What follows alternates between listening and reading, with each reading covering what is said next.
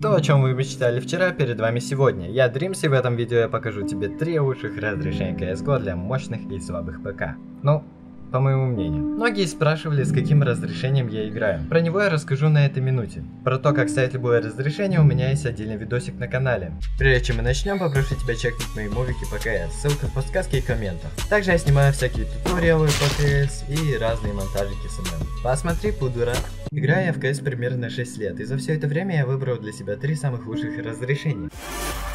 You make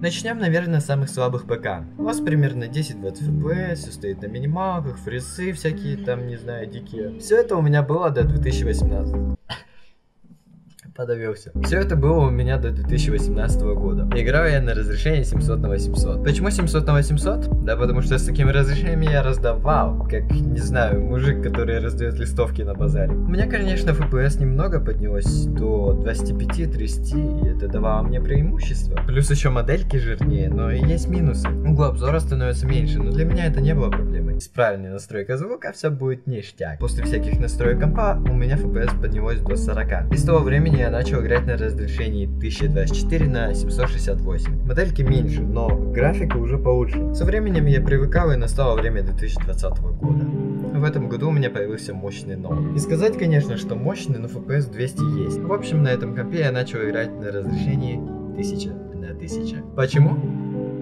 Потому что вы сами все видели в моих видосах, но могу сказать, что для меня это самое лучшее. Во-первых, угол обзора очень даже хорош. Во-вторых, модельки игроков средние, то есть шанс попадания увеличивается в разы. Ну и с таким разрешением приятно играть. В общем, самое лучшее разрешение, по моему мнению, это 1000 на 1000. Также не стоит забывать о сенсе. Если вы меняете разрешение на чуть меньше, чем у вас было, то и меняйте сенсу. Например, в разрешении 700 на 800 я играл сенсой э, 1,70. 1024 на 768 с 1,8. 1000 на 1000 ровно 2.